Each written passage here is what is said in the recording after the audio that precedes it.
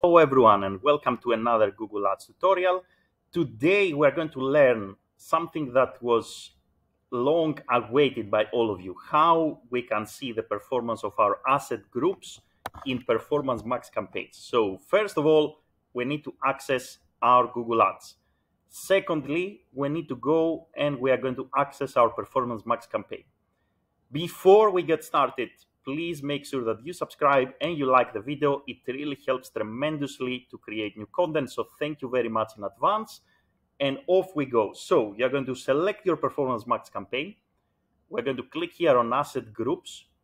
And the next thing that you need to do is typically you're going to land on this screen, which is the summary. So you're going to go on the top right and you're going to click on table, right? So when you click on table, you're going to see here all your asset groups. Now you're going to say, okay, where are the stats? I don't see any stats. And this is what you need to do. You're going to come here and click on columns.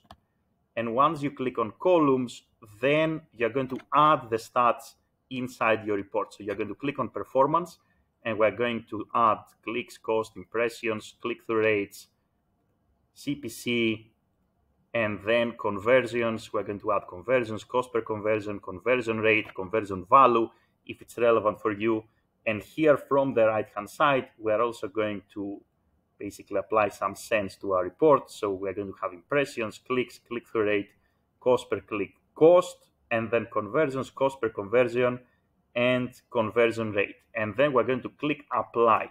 Once we do that, here we go. So here you can see a table with all the stats for your asset groups. So you can treat them the same way that you treat ad groups on any other regular Google Ads campaign. So now I know which asset groups are actually moving the needle, and therefore the segmentation in terms of targeting and in terms of creatives and in terms of basically anything else you want to trial when it comes to asset groups for performance max is going to be a lot more meaningful because you will be able to see which asset groups perform the best.